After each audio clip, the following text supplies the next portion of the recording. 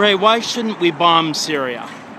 Well, I think bombing Syria would be following the same ill-fated path that we've taken on other uh, conflicts around the world. And we don't need to get our people involved in uh, a, a, conflict that we don't know that much about. Uh, understandably, there's been some terrible things happen there, and understandably, the world uh, should keep keep an eye and, and, and keep Syria in line. But it doesn't have to be a U.S. project. Okay, thank you.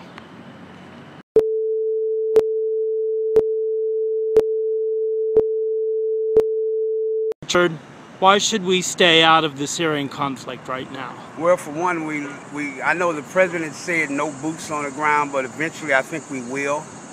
Because uh, Al Qaeda or Syrians, uh, freedom fighters, they're going to get together and eventually kill more people. And I don't think we even have real proof about chemical weapons over there, but we have problems in our own country that we're not taking care of. You know, let that country defend themselves or whatever. But right now, I am really upset because this government is going and fighting everybody else war, and you got young people that's losing their lives for nothing, and we got problems. We got a war right here. We got Al Qaeda. We got Taliban right here in this country, just waiting until our, our, our forces are real thin.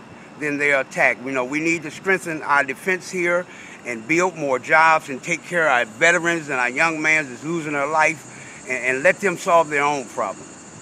Okay, great. Thank you very much.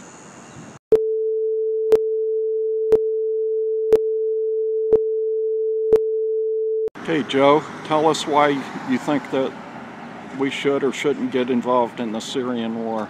Well, I think we really need to stay out of Syria um, till we have more information. We just don't know enough yet. Um, what I have heard is that striking Syria right now would actually help um, the Al Qaeda work there, and we would, in fact, be acting as Al Qaeda's air force.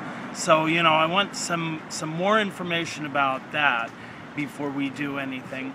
Also, um, in any war, who benefits is the bankers and the people that are financing it, and everyone else all soldiers and everyone supporting it are just a tool of the bankers, and they don't care who lives and who dies. They just want to make money. Okay.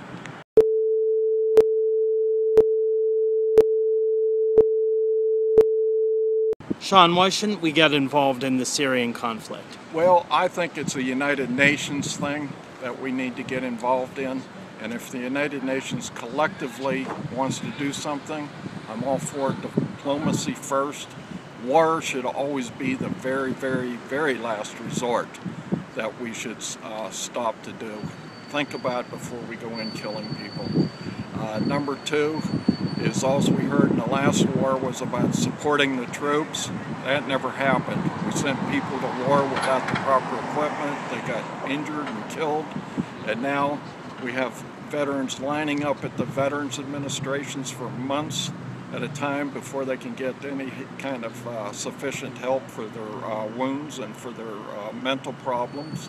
We still have Vietnam veterans that are living on the streets, homeless, without, never had jobs. Veterans now, we have no jobs.